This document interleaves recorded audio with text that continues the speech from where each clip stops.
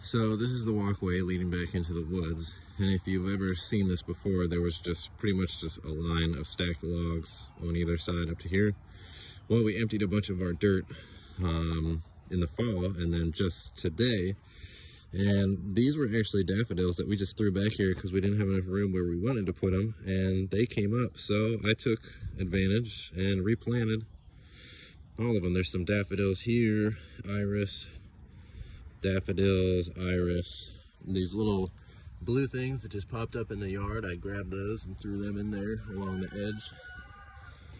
Some more daffodils. We got two bunches of hostas from Melissa's mom. We dug up all the yarrow from the fence line of the actual garden and I put it on either side down both ways.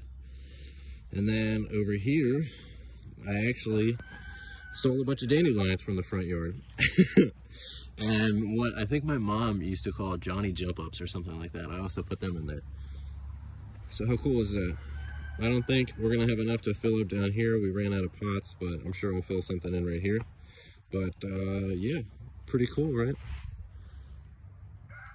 Useful space.